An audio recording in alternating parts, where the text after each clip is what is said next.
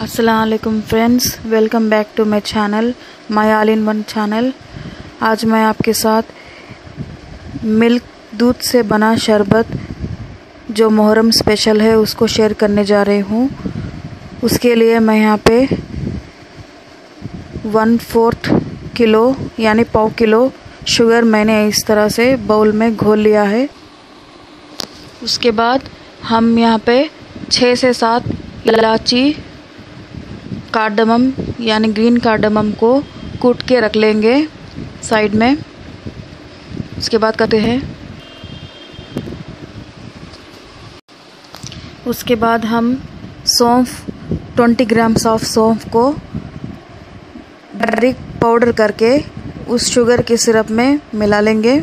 जो हमने सौंफ पाउडर डाला था, उसको डालने के बाद ये शुगर जो है अच्छे से घुल ना जाए पानी में, तब तक इसको अच्छे से मिलाएँगे। और इसमें जो हमने फ्रेंड्स यूज़ किया है इलायची और सौफ़, ये दो आपके बॉडी को ठंडा करने के लिए यूज़फुल है। और ये आपके बॉडी के त्रिदोषास, वात, पित्त, कफ जिसे कहते हैं, उसको ये एनर्जेटिक करता है और कंट्रोल करने, करके रखता है। इसीलिए इसको ये भी फ़ायदा है इसमें यूज़ करने का। उसके बाद हम यहाँ पे 100 ग्राम्स ऑफ़ कैश्यू नट्स काजू ले रहे हैं। उसको कवर में ही, उसके पैकेट में ही हम थोड़ा सा कूट कर डालने के डालने के लिए कूट रहे हैं। या फिर आप इसको बारीक से काट भी सकते हैं, ताकि आपके शरबत में जो है अच्छा लगे, बारीक बारीक काट कर डालेंगे तो। यहाँ पे हमने one and half litre milk लिया है। उसमें कंबाइन करके हम डबल करके वन एंड ऑफ़ पानी इसमें ऐड करेंगे।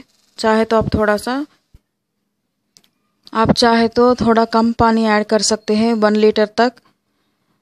पहले आप दूध को बॉईल करके ठंडा कर लेंगे और फ्रिज में चाहे तो थोड़ा सा, थोड़ी देर हाफ़ एन आवर रख के बाद में उसमें बाकी के जो सारे हैं उसमें ऐड करेंगे। तो हमने ओवरऑल से वन एंड ओवरऑल से आप चाहे तो वन लीटर तक पानी इसमें ऐड कर सकते हैं। उसके बाद हम इलायची को कुटी हुई इलायची पहले जो हमने कूट के रखा था, उसको अब ये जो वाटर और मिल्क हमने एक इस तरह का पतीले में ले लिया है, उसमें हमने अब ये इलायची, कूटी हुई इलायची को पाउडर को ऐड कर देंगे। उसके बाद ये जो सौंफ का पाउडर हमने शुगर सिरप में ऐड किया था, उसको थोड़ा सा अच्छे से फिर से एक बार मिक्स करके इसको भी उस मिल्क के मिक्सचर में, शरबत में हम छान कर डाल देंगे अब। एक स्ट्रेनर ले लें, उसकी मदद से आप इसमें सारा का सारा ऐड कर सकते हो। और उसके सिंपल से ड्राई फ्रूट्स ही डालना रह गया है इसमें ड्राई फ्रूट्स बाद में ऐड कर देंगे।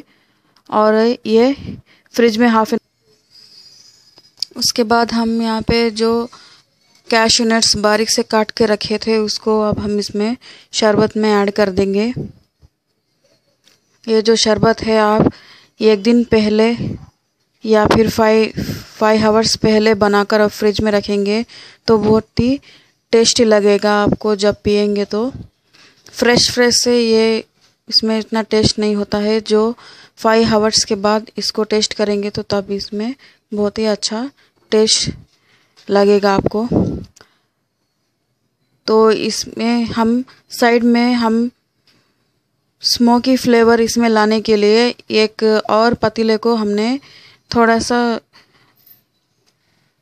स्मोक दे रहे हैं, उल्टा करके उस पतीले को रखा हुआ थे साइड में। और उसमें हम ये जो अच्छे से मिक्स करके शरबत को उसमें ऐड कर देंगे। आप इसको ज़रूर ट्राई कीजिएगा घर में।